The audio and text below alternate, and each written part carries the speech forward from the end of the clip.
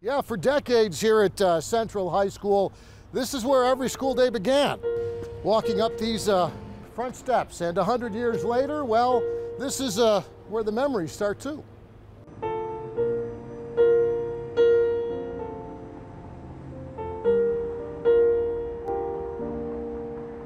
Every time I enter that building, I always think like, if I could hear voices of the past, like what would they be calling out to me and saying?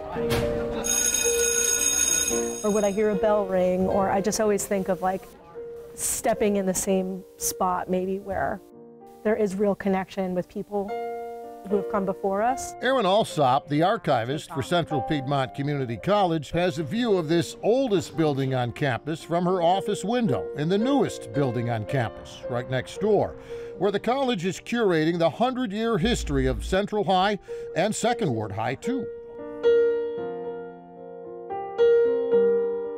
We didn't live this experience. This is just our way of telling the stories of others who experienced it for themselves. Alsop gives us a private peek at what may be the rarest item in her collection. So this is leather. It's wow. a leather bound or a suede bound book, rather. This Snips and Cuts yearbook from 1911, 12 years before the old Charlotte High School relocated in 1923 to the new Central High School. Also on display is Anna Elizabeth Sutton's diploma from 1928, the second four year class to graduate from Central High. The diploma itself hidden away for who knows how long in the home of a Sutton relative. And he's walking on campus with this big frame and came in and said, I want to donate this to you. This is still here. That Central High legacy includes decades more of these donated scrapbook memories. Lots of Charlotte and black and white reminders of what life was like for Central High graduates and their families. Most memorable may be this old hand me down high school cheerleading sweater. Which, I mean, it's beautifully detailed and beautifully crafted. And beautifully preserved, too. Alsop showing us the sweater's woolen patches on the front and on the back. and look closely on the sweater's collar, where you can still see this old pink tag from the dry cleaners. There I am, the cheerleader. I still have my cheerleader outfit. I could go check and see. Uh, Yep, former Charlotte Mayor and City Council member Patsy Kinsey was a Central High cheerleader too, class of 59, 28 years after her mother also graduated from Central. My homeroom teacher, I think, was her Latin teacher wow. at Central. Wow. So it was kind of a family tradition for you, Central High School. Yeah. And I think when I went there, the school pretty much looked the way it did when she was there. Kinsey adds that's pretty much what Central High School looks like today after the restoration, renovation, and rededication of the old building that she and other graduates pushed for back in 2007.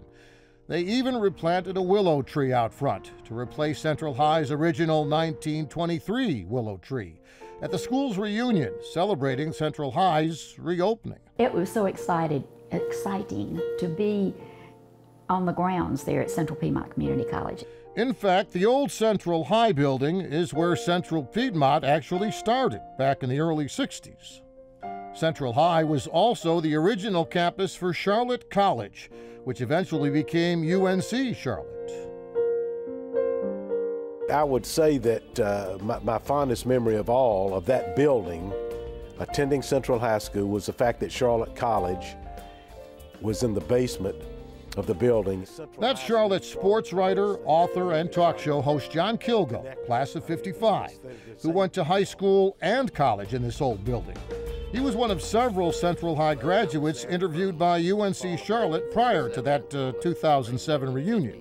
Lots of rivalries, but uh, lots of friendships developed too. Former TV executive Jim Babb, class of 51, remembers those old Central football games at Memorial Stadium lived across the street from the school all my most of my life. And longtime Charlotte Observer editor Jack Claiborne, Central High class of 50, says Charlotte's largest high school was also a neighborhood high school for him.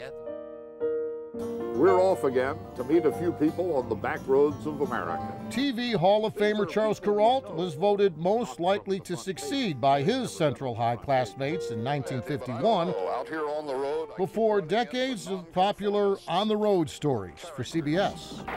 It's Jim Beatty pouring it on. But Central High's most famous graduate was on front pages everywhere in 1961. Jim Beatty seeing track history right here and now.